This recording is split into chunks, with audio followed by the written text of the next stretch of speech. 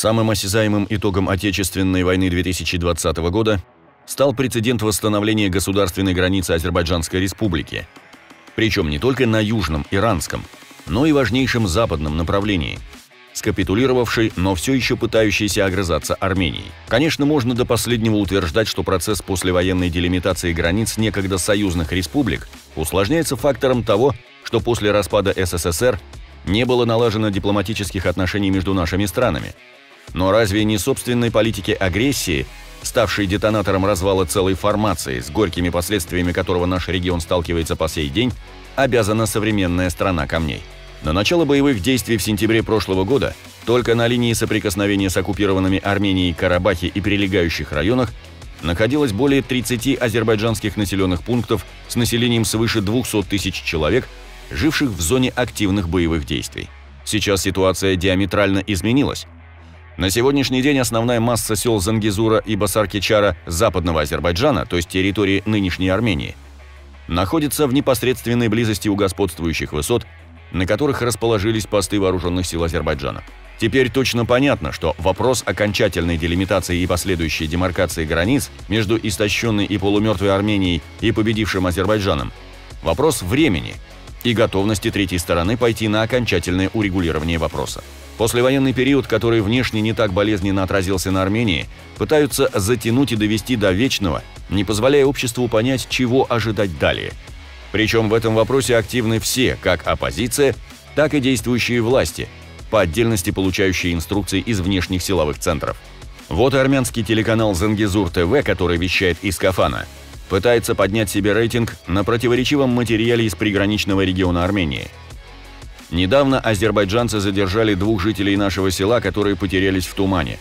Просто заперли как каких-то кур, которые зашли в соседний двор – сетует некая Сильвард, жительница западно-азербайджанского села Агнер, которая за неимением рабочей силы вынуждена убирать сено наравне с мужчинами.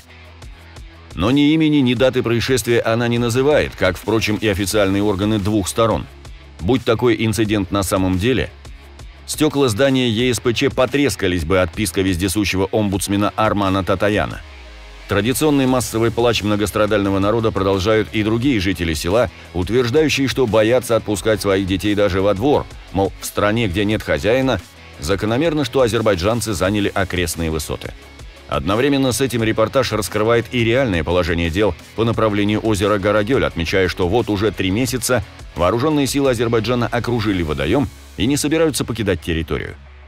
Недавно регион посетили функционер провластной партии и глава Сюникской области, которые в унисон уверяли на общественном ТВ Армении о полном контроле над ситуацией. Однако местные жители придерживаются обратного мнения. Отставной офицер капитулировавшей армии признался репортерам Зангизур ТВ, что вооруженные силы Азербайджана заняли весь периметр озера, расположившись по всем флангам и, как бы издеваясь, оставив для доступа армян лишь пологий участок у берега. На самом деле Гарагель полностью под контролем азербайджанцев. Его объективное видение ситуации подтверждает и ведущая канала, которая указывает на позиции вооруженных сил Азербайджана вокруг горного озера и потенциальную опасность приблизиться к воде. За 30-летнюю политику агрессии и ненависти по национальному признаку армянские власти делали на этой территории все, что заблагорассудится. На свое усмотрение они раздавали дома и земельные участки изгнанных азербайджанцев, беспощадно грабили недра перераспределяли водные ресурсы и вырубали леса.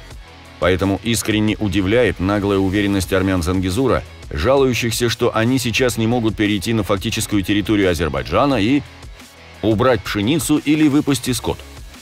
Удивляет наглость армян, сетующих, что какой-то прибор GPS и солдаты азербайджанской армии изменили их привычный образ жизни, который придется нарушить, продав скотину, поскольку ее скоро нечем будет кормить качестве эпилога.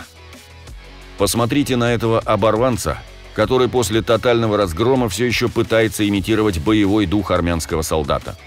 До тех пор, пока этот символ обреченной Армении не закопает свой ржавый автомат, у ее общества нет никаких шансов на безмятежное будущее.